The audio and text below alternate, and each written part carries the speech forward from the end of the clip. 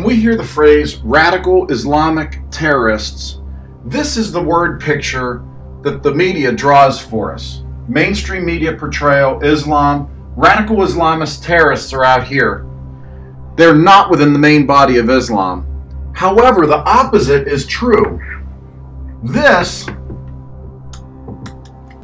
is closer to reality, or exactly reality. The terrorists should more accurately be called fundamentalists because they base their actions directly on the verses in the Quran, the Hadith, and the Sunnah. This process of Muslim colonization is called the Hijrah. Muhammad told his followers to migrate and spread Islam in order to dominate all the lands of the world. He said they were obliged to do so, and that's exactly what they are doing now with the help and support of the UN, the U.S. State Department, and the Christian and Jewish groups assigned to seed them throughout the country. We would notice that Hijrah and Jihad are frequently mentioned together. Why? Because Hijrah, many times Jihad, demands Hijrah before. Whoa! And there it is.